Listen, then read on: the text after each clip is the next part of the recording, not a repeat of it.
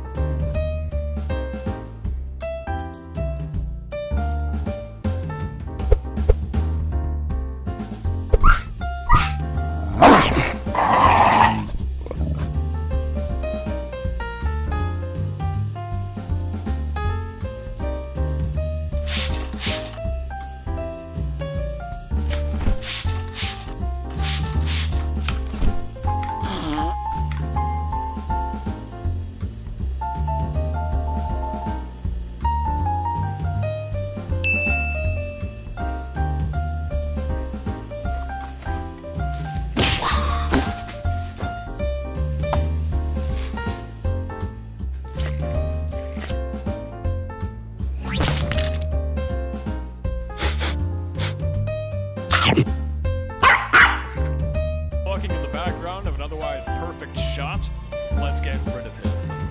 First, we create a box around what we want to erase.